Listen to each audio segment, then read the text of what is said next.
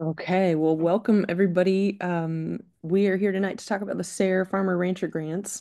And um, my name is Liz Brownlee. I'm going to show you all some slides so that we can learn together about how this grant works. Um, I'm really grateful you took the time to be here. And let me just go into presenter view.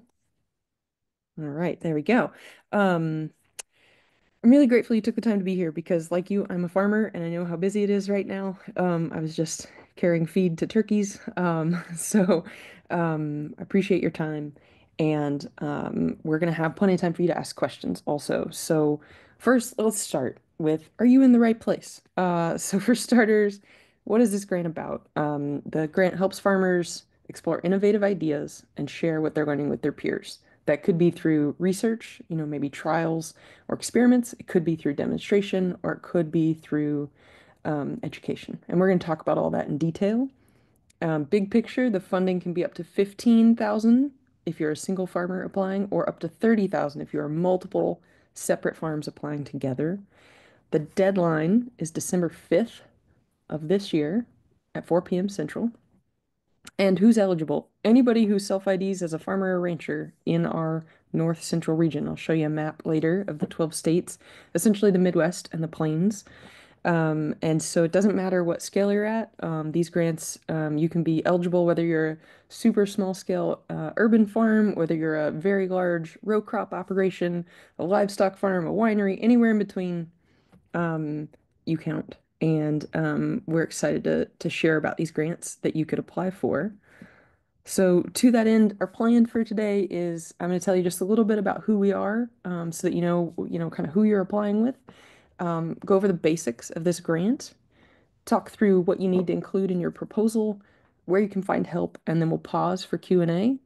And then a bonus round, if you want to stick around for the second chunk of this hour, um, we'll go through step-by-step directions on how to use our online grant system so that you feel equipped to start working up your proposal.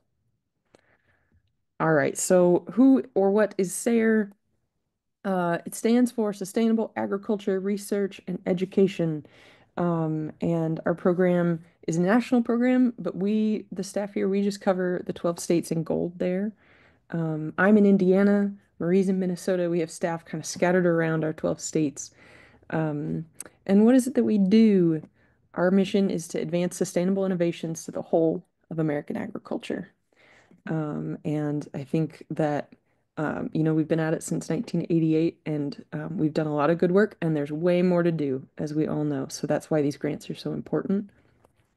First, though, before we go to the grants, a word about the fact that SARE does have kind of two arms. So in case you don't know this, um, we have all these books and bulletins that basically summarize and, and compile the things we've learned over the last 30 some odd years from on-farm trials. Um, so they're about the best practices on with sustainable ag of all different sorts, from pastured poultry to um, cover crops on large scale to working with um, youth. It's all over the place. Um, and those are all available online as digital copies for free, or you can buy them as print copies. Um, so I'll stop about outreach. I could go on, um, but peek at some of our resources if you haven't ever. And then there's the big part um, focused on grants, and that's what I get to do all day. Um, so I think it's important to point out that we really uh, try to embody um, being a different kind of grant program than a lot of the other ones that are out there. Um, we were started in 1988 to be um, all of the following decentralized, science-based, grassroots, practical problem solving, and inclusive. And we've been working really hard at all of those for a very long time. Um, it is a competitive grant making program, and so we're going to talk about how you can make your application stand out. Um, but I think that you're going to find that we're a really friendly grant program. We're here to help if you need help thinking about your application um, or managing your grant if you receive one. So all of our work centers around this this basic overlap zone that you see on the screen here. You know, sustainable ag. You've probably seen this as a three-legged stool or some other metaphor before. Um, but we think about agriculture that is ecologically sound, socially responsible, and economically viable. That sweet spot in the middle is where SARE works. And so if you're thinking about some sort of project on your farm or ranch um, that's maybe overlapping two of those, maybe it just focuses most on one, or maybe it's all three. Um, we'd love to hear about it. I think that I'd like to show you this list. I mean, this is just a big picture overview of the types of projects um, that SARE has funded in the past. And the types of projects we fund change over time as new innovations are made. Um, but uh, I think that probably whatever you're thinking about would be in our wheelhouse. Okay, so the other thing I want to emphasize is that our grants are very much about problem solving. So SARE grants explore problems identified by farmers and ranchers, and farmers and ranchers are involved in the project from start to finish. And and so that's especially important for like researchers to know if they're applying for grants, but this grant is specifically only for farmers and ranchers to apply for. Um, so you're the stakeholders and the leaders. Um, okay, so let's dive into this grant. Um, if you haven't already, I want to start by saying there's this really great document. I might be biased, but I think it's great, uh, called the Call for Proposals. And you can get this from the website. I've got the link there and the QR code. Um, it goes through all the details of the grant. Um, if you haven't read it already, download it later tonight and take a peek at it. Um, but I'll be I'll be walking you through many of the highlights from it today and referencing it too. So, okay, so what does SARE Farmer Rancher Grants Fund? Um, like I said at the start, on-farm research, demonstration, or education projects that explore innovative solutions. And I highlight the word innovative um, because we are not here to fund implementing best practices. You know, if you want to start doing rotational grazing on your farm, um, we cannot fund that probably because that's already a pretty well established best practices in most communities. Now, if there's no one doing it in your community and it is still innovative where you are in your setting, then maybe. Or maybe you want to refine a piece. So there was a, a piece of that puzzle. There was a farmer rancher grant last year looking at what would it look like to have um, automated feeders in a rotational grazing setting for poultry, right? So are you still pushing the ball forward? Um, because innovative could mean a completely new idea it could mean building on a best practice, or it could just mean an idea that's proven in other places or settings, but it's innovative in your community. Um, and in your application, in your proposal, you'll have to lay out why your idea is innovative and why it will contribute to sustainable ag writ large. Um, so I think this would, I didn't come up with these very wise words, but one of our um, colleagues did. He said, okay, so SARE grants help farmers and ranchers gain the knowledge they need to fundamentally improve their farm's economic, ecologic, and social viability, and then share that knowledge. Um, so the the difference between, say, funding just uh, implementing a best practice and instead, since that's not what we do, instead we fund testing out or demonstrating innovative ideas um, it's about gaining knowledge, not just about implementing an idea, uh, a practice. Let's look at some examples. That's going to help. So I'm going to give you an example of each of the three types. So let's start with research. Um, this is a project in Kansas in 2021. They did a hemp variety trial, um, and their goal was to compare yields and processing compatibility for three different seed varieties. Um, and I highlight this project in part because it was done on a, a, large scale, which I think is really important that folks know that we have projects of all different scales, but also because it didn't work. Uh, this project did not go as planned, but that's part of what science is all about. On-farm research, negative results are still important results. Um, so, for instance, they didn't learn what they thought they would because they had a lot of crop failure, but they learned that planting dates were more important than genetics. They learned that manual weed control was critical at that stage um, as they think about um, hemp being still somewhat restricted in Kansas. Um, and they also did a ton of outreach. Um, you can see just some of what they did to share out what they learned. Um, and they actually said that one of the best outcomes of their project was just the the farmers learning together, getting together at these events um, to to trade knowledge and share. So that was a research, a trial project. How about an education one? This is a project from Ohio. Um, uh, this is um, Pastor Aaron, and he um, just did a beautiful job of engaging high school age youth um, with sustainable agriculture practices by looking at Black farmer heritage. Um, and so it was a paid internship program that focused on historically Black farming practices as a motivational and inspirational tool. Um, and if you, you're saying like, hmm, I'm interested to learn more about that, you can do so. Um, so SARE, uh, we have a, a what do we call it, Marie? Is it a podcast? Is it a video cast? Is it a series? It's a video podcast series. It's all of the above. Okay, so we highlight um, past grantees sharing out about what they learned, and I'm I'm highlighting it here in part because if you're wondering, like, gosh, I don't know if my idea is a fit, it can be really helpful to watch some of these. Um, I watched one today while I was washing eggs um, to see like what's the breadth of projects that are being funded by SARE. Okay, one more um, example here for you. Here's the demonstration project. So this farm is in Michigan, and their goal was to demonstrate that it's possible to plant some of these longer term, quote unquote, riskier pro um, crops like walnuts when they're interplanted with shorter, low risk crops like peaches and sheep with um, pasture for sheep and, and hay. And so they just did this on 1.5 acres of existing pasture. Um, but they did it to really trial some of the design, some of the layout, and to show how much hay and forage could be coming off these places while the trees grow, um, and demonstrate it in their community in the, the northern part of not the UP, but the main part of Michigan there. And they got some really neat data. I encourage you, if you're thinking about intercropping or silvopasture, to check out this project. Um, I could talk for hours about it, but I won't. I'll just show some of their outcomes and maybe more importantly, show the amount of outreach they did. This was a demonstration project, so they really built in a lot of outreach. Um, they re they reached over 600 people and counting, and, and that included a field day on their farm, a presentation at a conference, an interview on a podcast. Um, they were also featured on Farming Matters. So just to say that that outreach can look like whatever you include in your proposal, but especially if you're thinking about a demonstration project, including a lot of that outreach is important. Okay, now that we have a couple of examples under our belt, let's go uh, into some of the details here.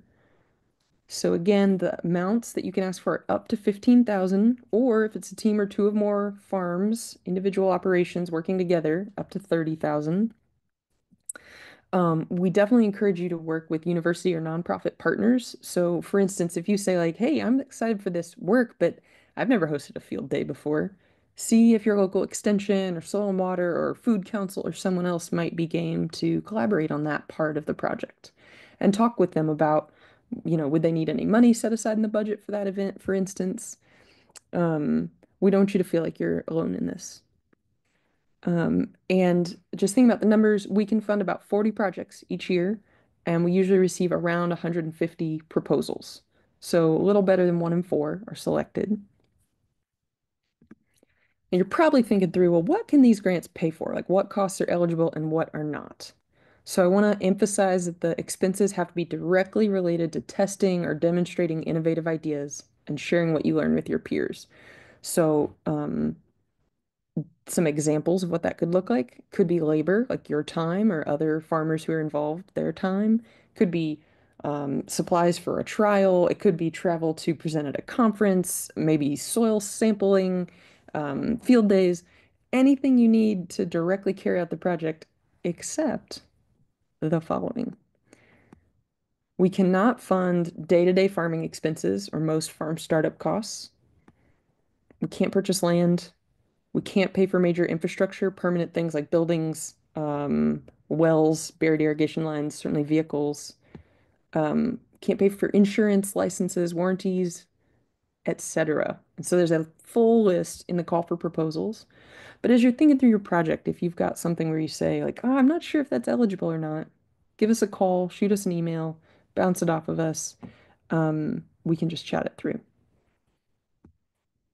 Okay, let's talk a little more about the outreach piece. Um, I really uh, believe deeply in farmer to farmer learning. I think it's what works best. I think it's what we all enjoy so much. And so we've um, we don't just include that because we like it. We include it because this is federal funding.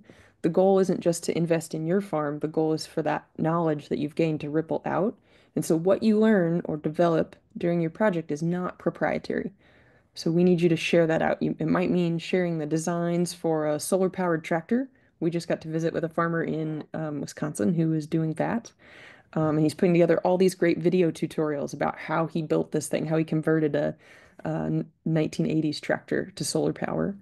Um, It could be through field days or farm tours, um, social media updates regularly, maybe conference presentations. You don't have to do all of the above.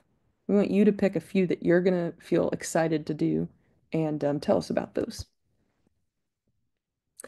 So who gets to decide what proposals are funded? Um, we, I'm really proud of the fact that we have a peer review process. So we have a group of 30 farmers and ranchers from across our 12 states, from a variety of backgrounds and expertise, um, and gender and age and race and geography. Um, and these folks read all the proposals, they score them, and then they get together in person to debate which ones to fund. The criteria they use to score the projects are all in the call for proposals. So my pro tip here is try scoring your own application. Draft up your proposal, and then you or maybe someone else um, who could be objective about it, try to score it and then see how you can improve. The review committee puts together a slate of who they think should be funded, and then that's passed to our administrative council, and they make the final decision about who is funded. Um, so speaking of decisions and such, let's look at the timeline here. So December 5th is when these proposals are due. By mid-February, the review will be done and the decisions will be made and we'll notify you one way or the other. If you're funded, by mid-April or May, you'd get the first 50% of your funds. In about a year, January of the following year, you have a progress report due. And after you turn that in and it's all approved, you get another 35% of the funds and then another year later, or whenever your end date is, up to a year after that, um, is your final report. So you can have up to 23 months. You're allowed to propose a shorter project. If you have something that's only going to take a year or 18 months, you can do that. Um, once that final report is in and accepted, you get the last 15% as reimbursement. So I want to emphasize that the whole idea here is that SARE grants are a financial cushion for testing out an innovative idea or demonstrating it to your community, but it's not free money, right? It's it's sort of like a fee for service because you're providing the service of doing this work and sharing it out. Um, and so I think it's worth pausing to look at like how does this compare to say a loan or a cost share? So on a grant, do you pay it back? No. This is money that you get, no obligation to pay it back. Um, but it's generally a reimbursement. So you got to have some upfront capital. You're going to get 50% upfront, but not all of it. Um, and so in our example, you know, we know what the goal is here, innovative and um, innovate and share knowledge out. Different grants have different goals. So if you're thinking about applying for others, um, look closely at what those goals are. I will say SARE grants, Farmer Rancher grants are really great first ever grant. If you've never applied for one or if you're still building those grant writing skills, um, the nice thing here is not only will you um, have to articulate what it is you have in mind, you'll get feedback from the reviewers, written feedback. Um, how does a grant compare to a loan or cost share? With a loan, obviously you pay it back, and that can be more for like purchasing land or expanding your farm. A cost share, a good example of that is the EQIP program with the Natural Resources Conservation Service. So they can pay for things like high tunnels, um, water lines, wells, pasture plantings, etc. So they're helping to fund um, in implementing best practices around sustainable ag. And so I always want to make sure that people know that that is a, a resource. If you need any connections on that front, follow up with me. Okay, let's say you apply, you put in your proposal, your project is selected. Um, I encourage you to, to think ahead now about what your cash flow should look like. When are you spending money? You can design your project, your grant activities with this cash flow in mind. Um, so I'll just let you look at that for a second. One more thing on the money. Um, income from this grant is considered taxable income. So talk with your tax professional about how this income will affect your tax reality. Um, you know, thinking about when's it going to come in relative to your other expenses and, and farm business. Okay, we're going to dive in now to how to actually write the proposal. So I think of it in four steps.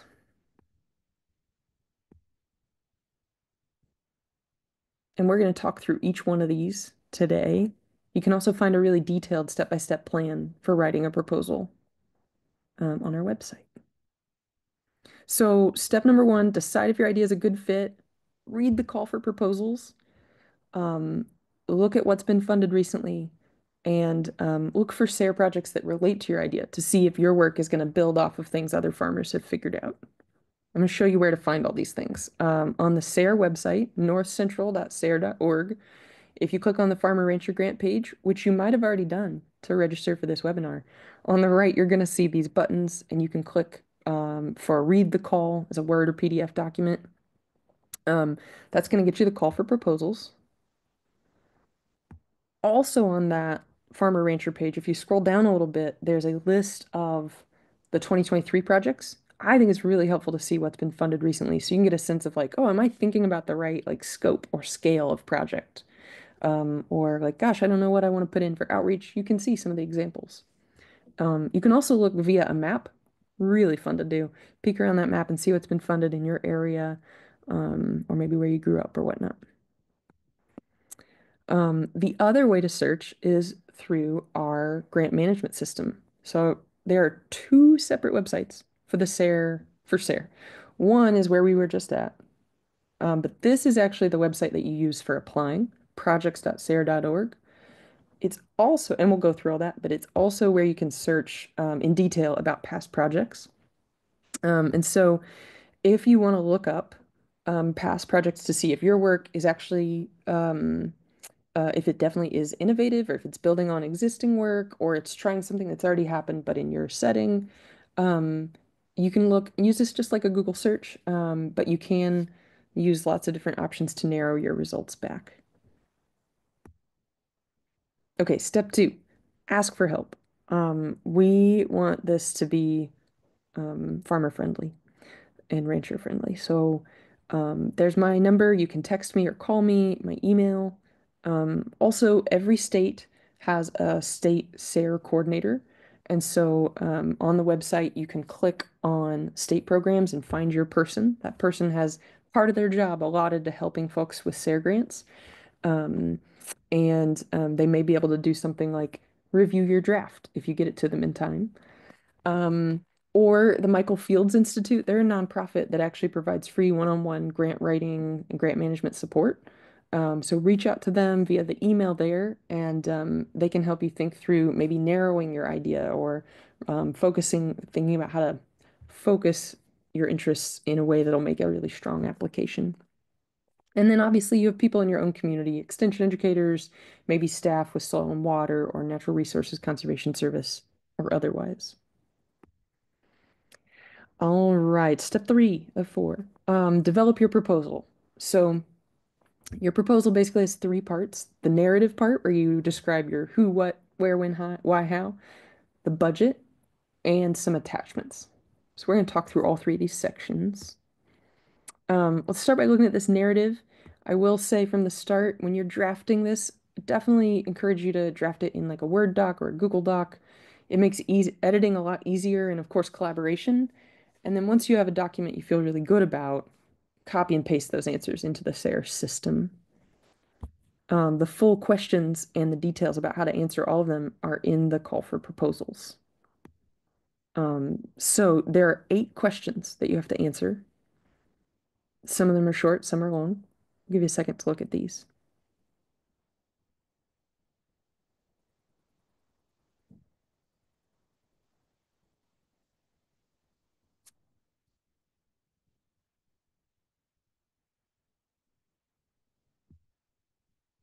Here are the last four.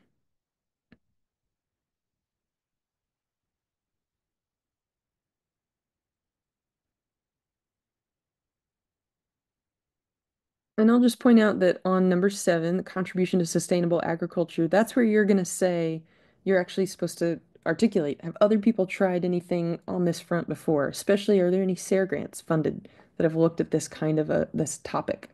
Um, so that's where that SARE database comes in handy. Um, okay, so let's say you've knocked it out of the park. You've done a great job on your narrative. Next up, you need a budget. Um, and it's really just listing out one line, line item at a time what you need. So here's an example. Um, somebody's doing a, a trial that involves wine cap mushrooms. They need spawn. They probably should have listed the word spawn there, wine cap mushroom spawn. Um, the amount, the total cost is $60. And then the justification, that's not uh, uh, prompt for you to say why that item is needed. Um, instead, it's just how did you get to that amount? Um, so in this case, the packages of spawn cost $30 each. You need two packages, there's 60 bucks. Let's look at a couple more examples. Let's say you need some tomato starts. They're $4 each. You need 20 plants. That's 80 bucks. Maybe you need some personnel. We strongly encourage you to compensate yourself or any other farmers that are included. Um, the USDA rate for a farmer is $25 an hour. Um, you can decide what that hourly rate should be. In this case, it's an intern. The description says what they're going to do. The justification lays out the math that got to that full amount. So number of hours and rate per hour. Um, travel, that's you know miles um, for the round trip, and then the IRS rate per mile. Um, there are a bunch more examples in the call for proposal. There's um, there's also a video about how to make a budget. We'll get to that. Okay, the last of the three main things are attachments. Um, so letter of support. This is simply a one-page letter, um, including some or all of the following. Um, maybe uh, uh, I should say, who writes a letter of support? Someone who can speak to something like this, the why your experience um, is going to help this project and your ability to carry it out. Um, an explanation of why the project is needed or how it will benefit the farming community or um, if that person's going to maybe help support your project by teaming up on a field day uh, or the outreach or soil sampling or interpreting data, etc. Uh, so people who might write a letter of support could be an extension agent, um, some sort of other ag professional who works for maybe soil and water or for the um, State Department of Agriculture or your county. Um, it could be a staff person at a nonprofit that serves farmers uh, or a ranching organization. Um, there's uh, not a wrong answer for who writes a letter of support. It's just someone who can speak to your uh, skills and or the importance of the project. Please ask these folks early. Um, give them a heads up sooner rather than later that you're submitting this proposal and you'd love a letter from them. You have to attach it in your proposal, so you need it well before the deadline. Um, the next uh, attachment is only if you're a team of two or more individual farms applying. But if you're looking at that $30,000 maximum amount, um, when you press submit on your proposal, um, you will have included your team members' email uh, and contact information. Those folks are going to get an email where they have to affirm their participation, and there's a one week deadline on that. So make sure that they are checking their email. um, if you're an individual project, that one doesn't apply to you. And then last but not least, everybody has to answer at least the first question of the livestock care plan. If your project does not involve vertebrate livestock, you'll just answer the first question, no, and then you can move on with the application. But if you have livestock, um, you need to, um, in, in as part of the project, you need to answer the questions. And we don't want this to be a barrier. If you have questions about it, reach out. It's asking for basic things like, um, you know, what's the shelter for the animals? What are you going to feed them? Do you have a vet you can call? Uh, the goal being that um, any animals involved in a, a study of any kind are treated humanely. Okay, step four. This is the last one. Use the online system to apply. Um, I will say we have some brand new video tutorials on the SARE YouTube channel about how to use the online system.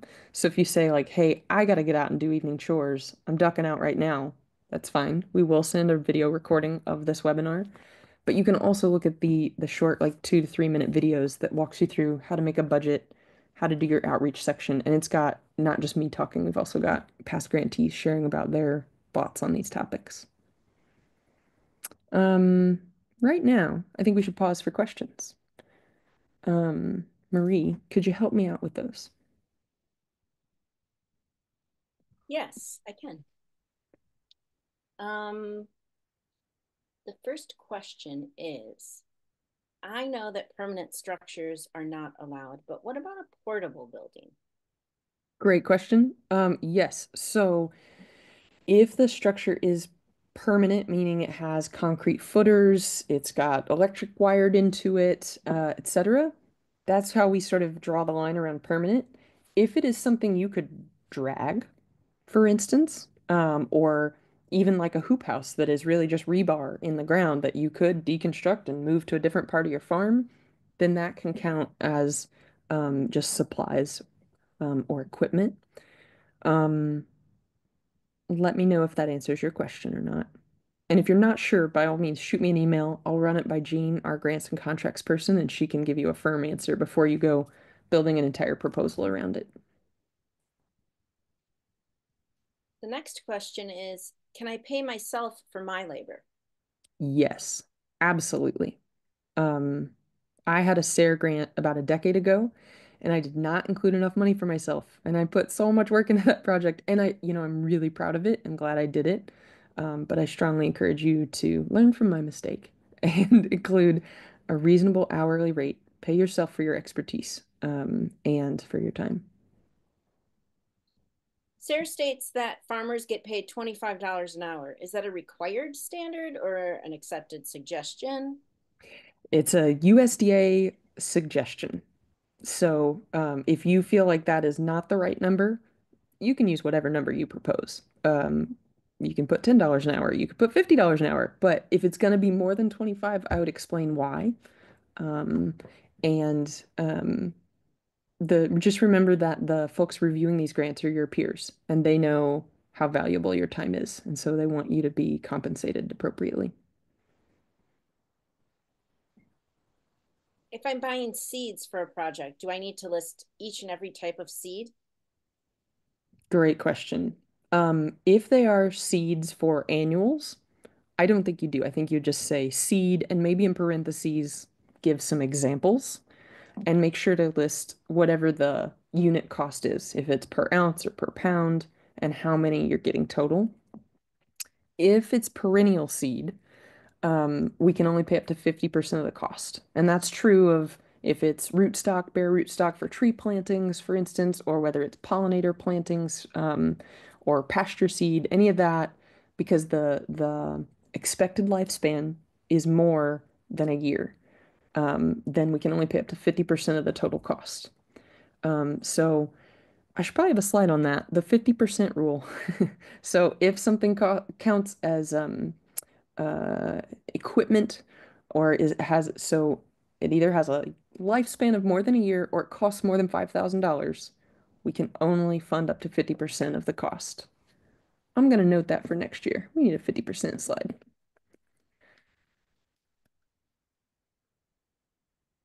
Fire away. How would someone go up go about setting up a grant that is focusing on the youth educator grant, but then rolls into the farmer rancher grant? Hmm, the old one-two punch. I like it. Um, hmm. I might have to think about that a little bit. Um, definitely follow up with me. I think that that I could see that happening though, where you say like, "Hey, we're going to start by engaging youth in developing, let's say, a community garden space, and then or a productive, you know, urban farm." and they're going to help plan it, and that's part of what our youth project is. And then we're going to later apply for a farmer rancher grant to get some of the funds for some aspect of that operation um, that we want to demonstrate to our community. I'm just spitballing, but I'd love to talk more in detail about it. Um, we can set up a time to talk, or there will there will be office hours where we could talk in more detail um, starting next week. Liz, can someone have both a youth educator grant and a farmer rancher grant simultaneously? Oh, um, yes. I think technically you could. Um, you can only put in one application per grant type per year. We have six different types of grants. Some are really aimed for um, educators, some are aimed for researchers, some for farmers. But if you wear multiple hats, like pretty much all of us do, um, you could put in, uh, in theory, one per grant program per year. And they could all be funded. Um, the next question is, what if your project costs more than the max? Don't they all? Um, that is okay. Um, but in kind of a funny little quirk, like we really only need to know about the part that you are doing with SARE funds.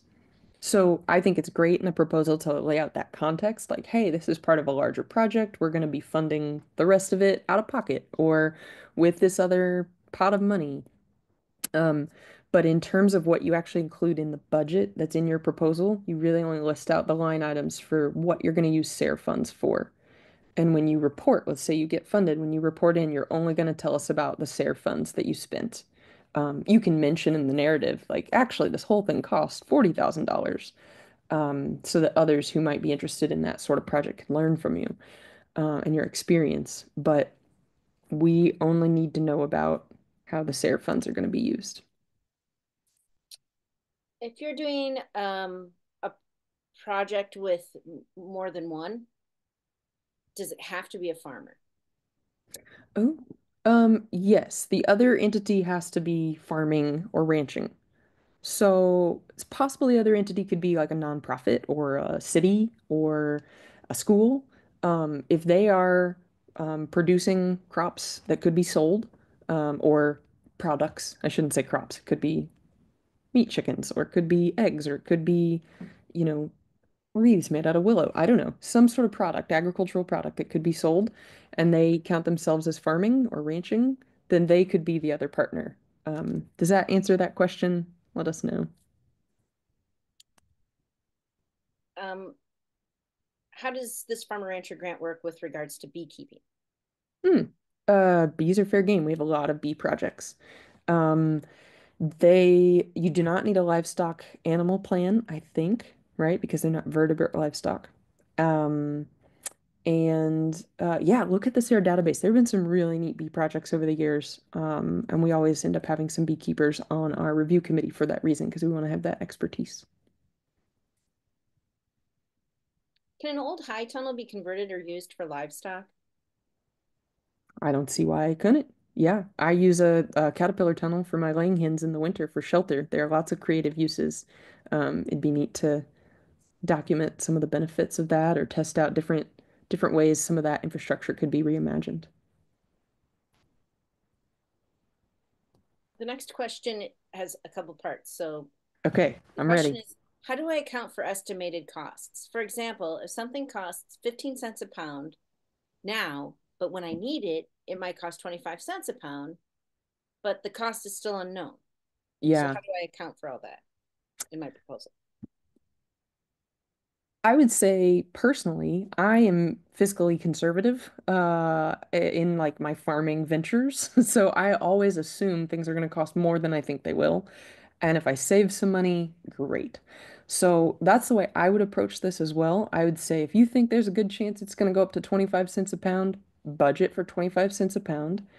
And if you get into the project, you know, it's funded and you're partway in and you got a good deal and it's only 18 cents a pound, um, you can use that difference, the money you saved, on a different line item. We're totally happy to see those funds switched over to personnel because you spent more time, or I don't know, um, mm, providing better lunch at your field day. Um, the the way reallocation of money works, just big picture, is if it's under, um, I think if it's under 10% of your total project cost, as long as it's still helping you reach your objectives and an allowable cost, great. And if it's over 10% of the cost, you just have to write us a note and say why you want to do this and we have to get it approved. Um, but there there's not like endless wiggle, but there's uh, I think a pretty realistic approach that prices change, um, especially in a two-year long project in today's world.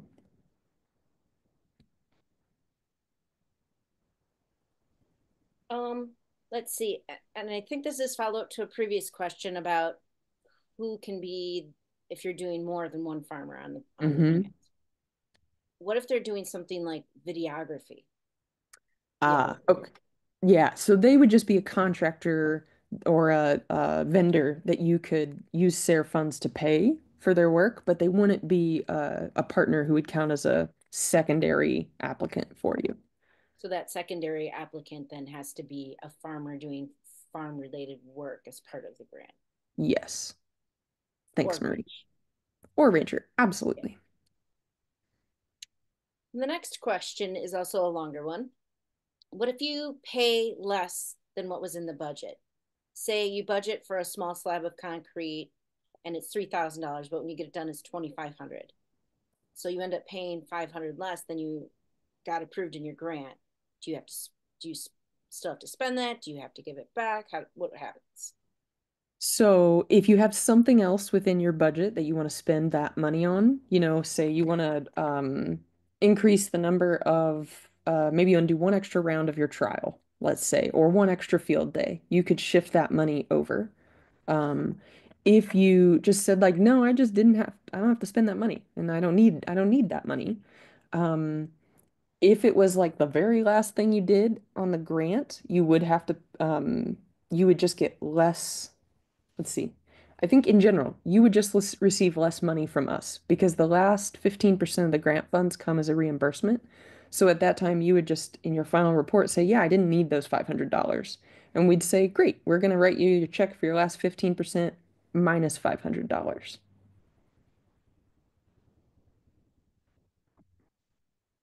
That is the last question in both the chat and the Q&A section right now. Great. Um, by my clock, we've got 19 minutes, which should be plenty of time to run through the rest of this. So keep thinking of questions. If you don't uh, think of them today, think of them tomorrow. Shoot me a message. Um, we've got time before December. Okay, so let's just go through.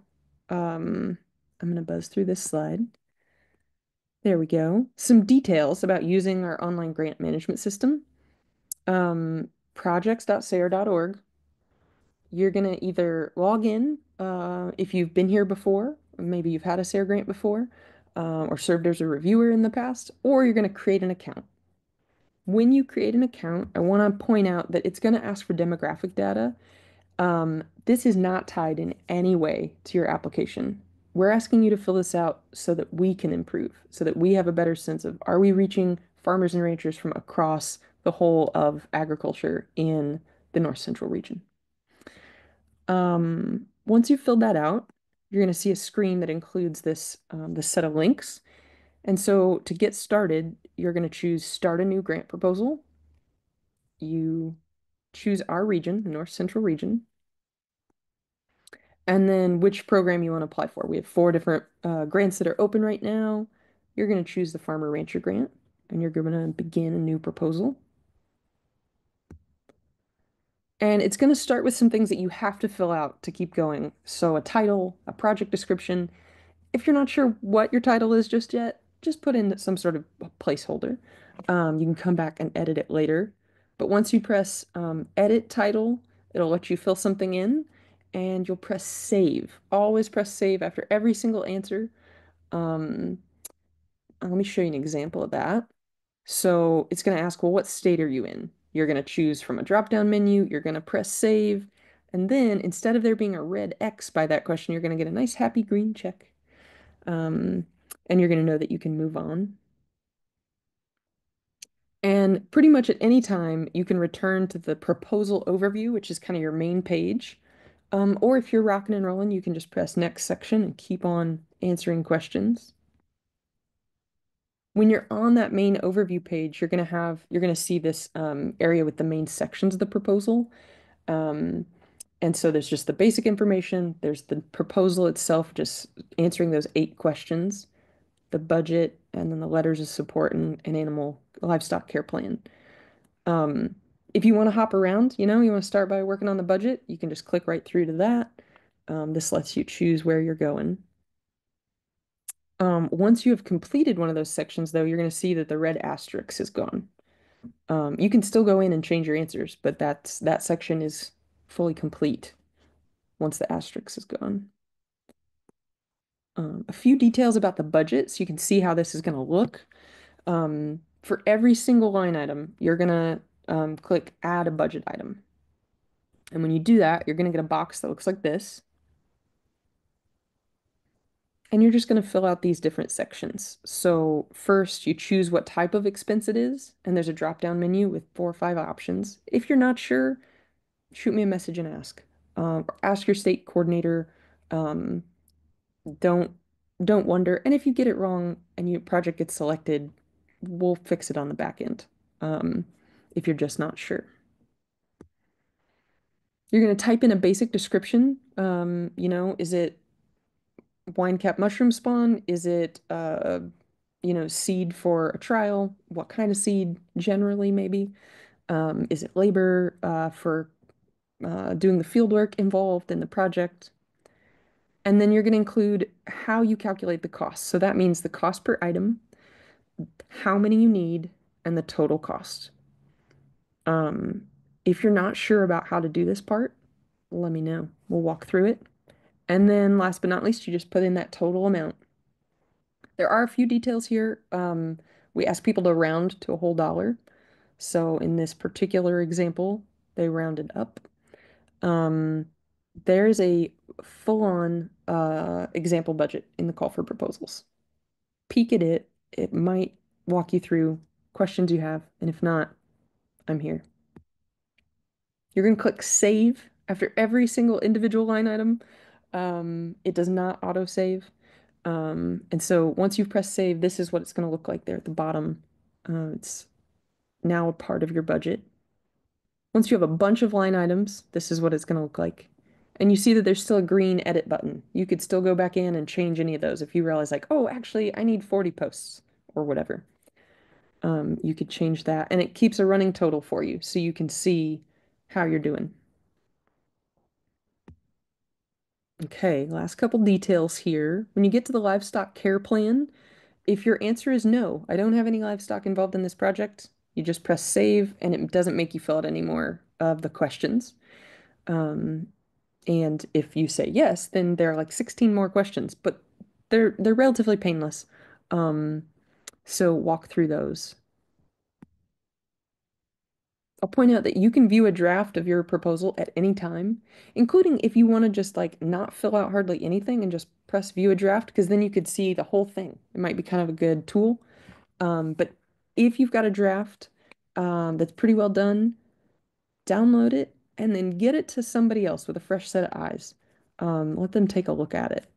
Or even just step away from it for a day or two and then go back and read it. That's really helpful. When you're totally happy with everything, and when all sections are complete, there's a magic button that appears called Submit Proposal. It's green. You're going to click it. And in fact, then it's going to have a box that pops up and you're going to press Submit Proposal again. You got to press it twice. Um, after you do that, you're going to get an automated email from us saying, congrats. Um, you're going to get a, a, survey that you can fill out if you want about how your experience was, um, so that we can learn from, you know, what worked well for you and what didn't. Um, and um, you also are going to have um, the option at any time before the deadline to log back in and unsubmit and change things. If you, you know, let's say you fill it out now and in the month next month you think of something really smart that you wish you would have included, that's okay. Unsubmit, fix it, and press submit twice again. Okay, so let's say you you you understand how this works.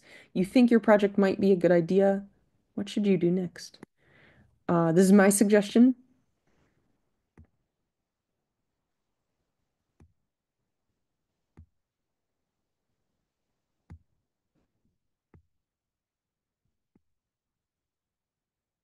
What's not, oops, sorry. What's not listed on there is um, come to our office hours. Um, so we're going to try this this year and see if anybody takes me up on it. We're going to have an hour each week where you can just drop in, ask a question.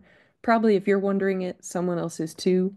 Um, but here is my contact information if you just want to reach out to me directly, um, or if you want a connection to your state SARE coordinator um, so that you can work with them in more detail. Um, and if you download the slides, uh, or rather, I will send out the slides uh, and this recording, and it'll have the notes on all these sections, um, including ways you can follow us on social media and all the rest.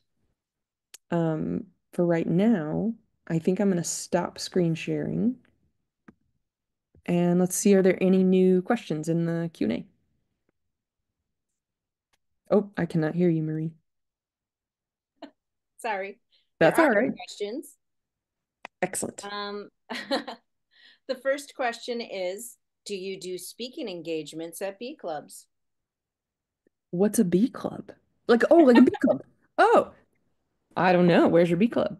Um, that would be so fun. I know very little about bees. I once took a beekeeping class. I was very young and realized I didn't have enough money to try or enough knowledge. And um, I would I would love to get to know your bee club though.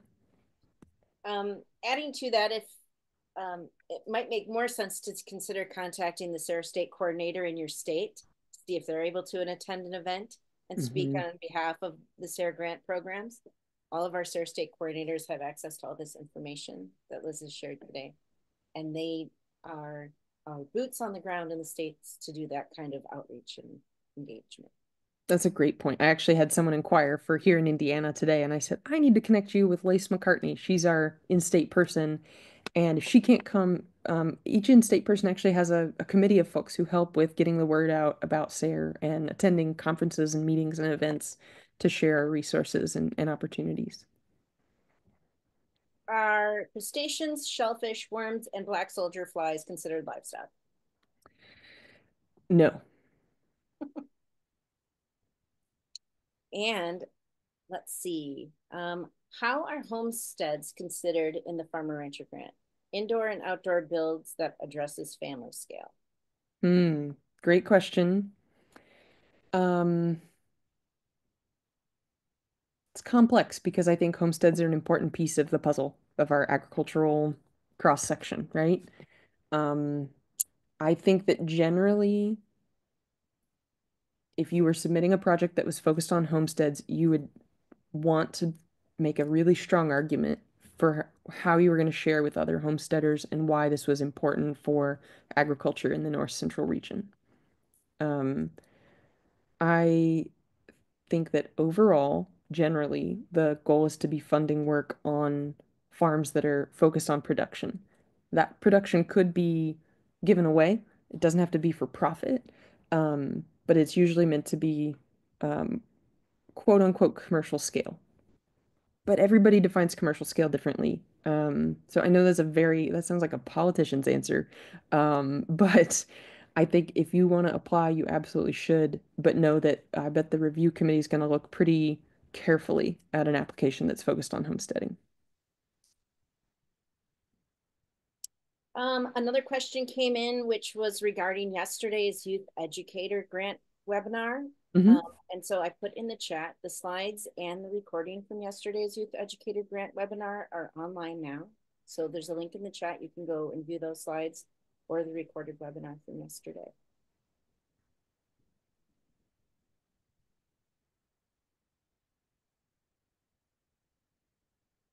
Super. Do we have any other questions? What uh, there is another question that just came in. What about building a homeschool curriculum demonstration area for families? Mm, that would be in the youth educator category, I think more um, I think that would be a tighter fit there. Um, we do have education projects in the Farmer Rancher grant um, that get funded, but we specifically say in the youth educator grant that um, you know we welcome homeschool families or homeschool groups or co-ops to apply um, for projects that are going to benefit um, homeschool families. So I think that would have better odds if I'm guessing. I will say this is my first time running these two programs, and so I'll be going through the review process with the reviewers for the first time this year, and I'll I'll get to know those folks better, and and that group rotates. Um, people can serve for up to three years. Um, I'll say that if you think like, gosh, I think I want to apply for a grant someday, I'm not sure if I'm ready yet. Serving on the review committee can be a really neat way to be of service and to learn more about these programs from the sort of back end. And Marie, can you tell us how people would put their name in the hat um, to to be considered as a reviewer? Yeah, there is a place online to um, apply to become a grant reviewer for any of our grant programs. We'll also be sending out an email in like the next week or so um, announcing um, those openings and giving you a chance to apply. I will put a link in the chat as well Nice, thank you. once I'm done looking at questions. Okay, Um, a couple more questions have come in. great. Um, the next question is How should a project which has components of research and demonstration be categorized or submitted? Hmm. I think you just say that you're both. Um, and we there's I don't think that there's a single place on the application where you have to define which one you are. Um, it's just that generally the projects fall into one of those three categories. Um, a question came through regarding um, identifying their state's coordinator. Mm-hmm. And so again, I just put a link in the chat um, where you can um, see who is the state coordinator in your state. In many cases, there's more than one.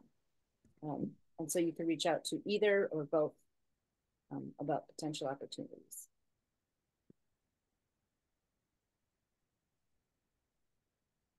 Oh, hmm. Looks like folks might be having some technical difficulties with that. So I'll include that in the follow-up email that I send. Um,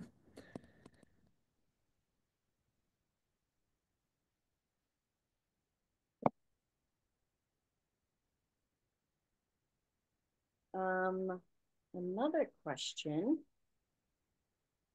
Let's see. Oh, someone having interest in becoming a reviewer. I'm going to put that link in the chat now so that if you're interested in becoming a reviewer, you can consider applying for that. Okay. And I'll include that in the email also. So I'm going to email all of you um, uh, maybe tomorrow, but it might be Monday or so. Um, once we've got the recording um, up on our website, that way you can um, follow up. It'll have the slides from today with all the notes and then some of these links that we're talking about.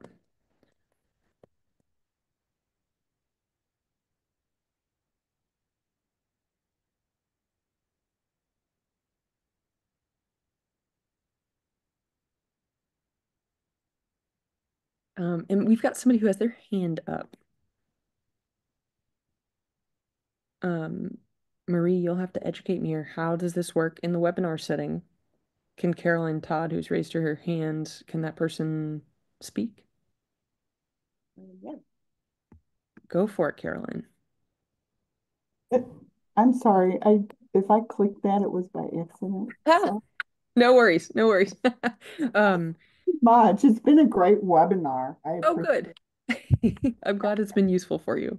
Mm -hmm. Um, super. Did we answer all the questions?